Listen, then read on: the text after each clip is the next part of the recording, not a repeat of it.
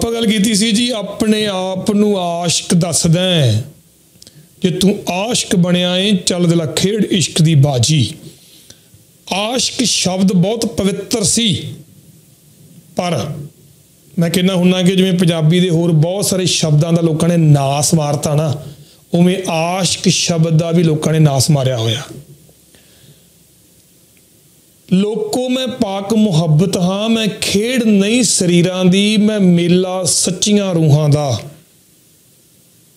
ਮੈਂ ਮੇਲਾ ਸੱਚੀਆਂ ਰੂਹਾਂ ਦਾ, ਮੈਂ ਖੇਡ ਨਹੀਂ ਸਰੀਰਾਂ ਦੀ। ਦੇਵੀ ਮਖਸੂਸਪੁਰੀ ਸਾਹਿਬ ਦਾ ਸ਼ੇਰ ਹੁੰਦਾ ਸੀ ਇਹ ਕਿ ਜਿਹੜੀ ਮੁਹੱਬਤ ਹੈ ਨਾ, ਦੁਨੀਆ ਦੇ ਵਿੱਚ ਇੱਕ ਬੰਦਾ ਹੈ ਤੇ ਇੱਕ ਔਰਤ ਹੈ।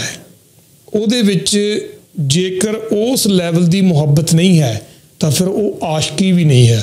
ਸਰੀਰ ਦੀਆਂ ਲੋੜਾਂ ਹੋਰ ਨੇ, ਪਰ ਰੂਹ ਦੀ ਲੋੜ ਸਿਰਫ ਇੱਕੋ ਹੈ ਤੇ ਉਹ ਸਿਰਫ ਆਸ਼ਕ ਬੰਦਾ ਹੀ ਪੂਰਾ ਕਰ ਸਕਦਾ। ਆਸ਼ਕੀ ਦੇ ਮਾਇਨੇ ਬਹੁਤ ਡੂੰਘੇ ਨੇ। ਉਹ ਗੁਰਦਾਸ ਮਾਨ ਸਾਹਿਬ ਕਹਿ ਰਹੇ ਆ ਕਿ ਤੂੰ ਆਪਣੇ ਆਪ ਨੂੰ ਆਸ਼ਕ ਧਰ ਦੱਸਦਾ ਹੈ, ਟੇਢੀ ਪਗੜੀ ਧਰ ਕੇ ਤੇ ਤੂੰ ਕਹਿੰਦਾ ਮੈਨੂੰ ਐਵੇਂ ਹੀ ਮਿਲ ਜੇ, ਇਹ ਮਿਲਦਾ ਮਰ ਮਰ ਕੇ।